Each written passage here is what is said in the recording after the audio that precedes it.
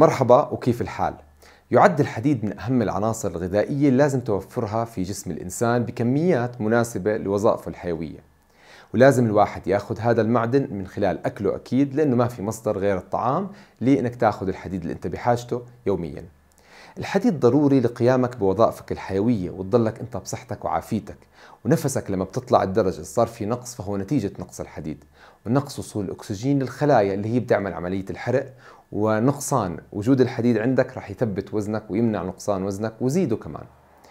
الحديد معرضين إنه فقدانه السيدات بشكل أكبر. عشان هيك اليوم بدنا نحكي عن الأشخاص الأكثر عرضة للإصابة بنقص الحديد والأسباب الرئيسية اللي ممكن تكون تساهم في نقص الحديد عندك أو عندك أكيد.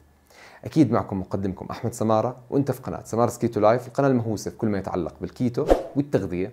وخلينا نحكي بالتفاصيل. أكيد لا تنسوا فنجان قهوة وتعملوا like و subscribe فأما أكثر الناس عرضة للإصابة بنقص الحديد هو أكيد السيدات. فالسيدات في سن الخصوبة معرضين شهريا للدورة الشهرية اللي من خلالها بيفقدوا كميات منيحة من الدم اللي فيها الهيموغلوبين الموجود داخل الحديد. فنتيجة ذلك إنه هدول السيدات هم معرضين دائما لنقص الحديد خصوصا إنه بشكل عام السيدات ما بيحبوا يأكلوا اللحوم الحمراء المصدر الغني والأعلى في الحديد الموجود واللي ممكن يحصلوا منه الحديد. الناس التانيين المعرضين لنقص الحديد هم السيدات الحوامل فالسيدة الحامل عادة بصير عندها تغييرات كبيرة في جسمها فأول إشي هي مسؤولة عن زيادة كمية حجم الجنين اللي عماله بتخلق داخلها اللي هو رح ياخذ كل مغذياته من خلالها. فمن أهم الأشياء اللي رح ياخذها الجنين هو الفوليك أسيد بالإضافة للحديد. الشغلة الإضافية إنه الدم الموجود في في دم الحامل بده يزيد حجمه فعادة بزيد البلازما الدم من 40 ل 50% بينما بزيد كريات الدم الحمراء من 20 ل 30% وهذا بيعطي ضغط إضافي على جسمها بالمزيد من الحديد والفوليك أسيد. النوع الثالث من الأشخاص المعرضين لنقص الحديد هم المراهقين من الذكور اللي عمالهم بيكبروا بتضخموا بطريقة عالية بيزداد عندهم حجم العضلات بطريقة واضحة في هذه الفترة العمرية الحرجة. والعضلات فيها الميوغلوبين اللي هو زي الهيموغلوبين في الدم وهو المسؤول عن تخزين الأكسجين داخل الخلايا العضلية. فلذلك إذا الشاب عماله في هذا العمر الحساس ما عم بياخذ كميات كبيرة من اللحوم أو الأعضاء زي الكبدة أو الطحل فبصير عنده نقص بالحديد ما بكفيه لبناء العضلات بطريقة سليمة وصحيحة. الأشخاص الآخرين المعرضين برضه لنقص الحديد هم الأطفال الرضع اللي بتضلوا فترة طويلة على الحليب وما بتدخلهم اللحوم بعد ظهور الأنياب عندهم فبالتالي ما عم بياخذوا مصادر غنية بالحديد وبالتالي ممكن هم يكونوا معرضين لنقص الحديد. أما فئات المجتمع النباتيين فهم برضو معرضين نقص حاد في الحديد بكل بساطة لأنه كميات الحديد الموجودة في الأكل النباتي أقل وكفاءته كثير قليلة وامتصاصه سيء جدا وبنفس بسبب وجود الأوكساليت فرضا في السبانخ أو وجود ال phytate في منتجات اللي هي النباتات ال whole grains والصويا وال nuts اللي هي بشكل عام مصادرهم للبروتين زي ال nuts لكنها تمنع امتصاص الحديد. الأشخاص كمان اللي بيعملوا عمليات تكميم المعدة أو تحويل المسار هم أشخاص لعبوا في جهاز الهضمي المسؤول بشكل أساسي في عملية هضم وامتصاص الحديد. فالمعدة أحماض المعدة هي المسؤولة عن تفكيك البروتين واستخلاص الحديد منه والاثني عشر مسؤوليته امتصاص الحديد.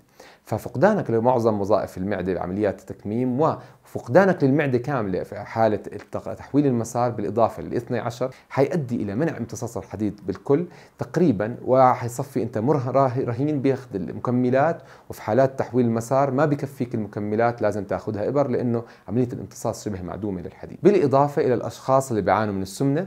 فعادة الأشخاص اللي بيعانوا من السمنة بكون عندهم نقص في الحديد. عادة مش بأسباب معروفة لكن هدول الأشخاص هم عادة عندهم مشاكل في الجهاز الهضمي وقد يكون سوء الامتصاص هو أهم أسباب نقص الحديد عندهم. أما الأسباب الرئيسية لنقص الحديد فبتبلش كالآتي. أول سبب وأوضح سبب اللي هو نقص استهلاكك للحديد. فعادة الرجال بحاجة لاستهلاك 8 ملغ من الحديد خلال أكله المعتاد. ممكن يحصلوا من من من اللحوم الحمراء أو من لحوم الأعضاء وهي أكثر مصادر غنية بالحديد. أما السيدات بحاجة ل 18 ملغ من الحديد يوميا. وعادة السيدات اللي بحاجة لمرتين ونص حاجة الرجال من الحديد هم الأقل استهلاكا للحوم الحمراء ولحوم الأعضاء. النوع الثاني والسبب الثاني هو سوء الامتصاص بسبب تناول الأكل اللي بيقلل الامتصاص. أهم الأكل اللي بيقوي بيقلل الامتصاص هو الأكل شرب الكافيين زي القهوة شرب الشاي بالإضافة لتناول الحبوب زي الخبز آه، تناول الصويا تناول المكسرات بسبب وجود ال phytic acid أو ال phytate نبلش بالخبز فالخبز عادة بيحتوي ال 120 جرام من الخبز على 2 ملي جرام من ال phytate اللي هو قادر على إنه يقلل امتصاص الحديد اللي أنت بتاكله في أكلك ل 18% إذا اعتبرنا الأكل هو لحوم.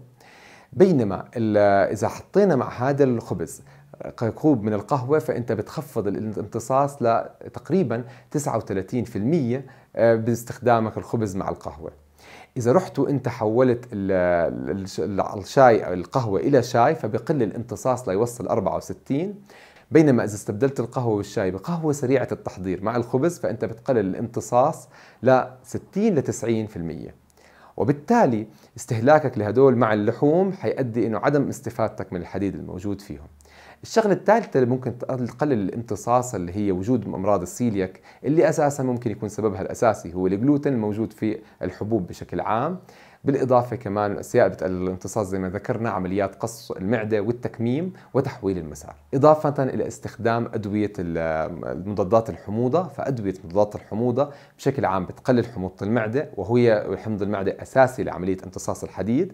فإذا أنت بتاخذ دواء حموضة فأنت غالبا عندك نقص حديد وفقر دم بكل بساطة لك ما عم تتص هذا الحديد. ما ننسى كمان عملية الحمل والولادة فعملية الحمل والولادة بتفقد السيدة تقريبا ثلث مخزونها من الحديد أثناء هذه العمليتين. وأخيرا وجود نزيف في الجسم إن كان في الجهاز الهضمي في كقرحة المعدة أو قرحة الأمعاء أو التقرحات في الفم. أضف إلى ذلك الدورة الشهرية أو الإصابات اللي بصير فيها نزيف خارجي أو داخلي كلها رح تعمل على نقص الحديد.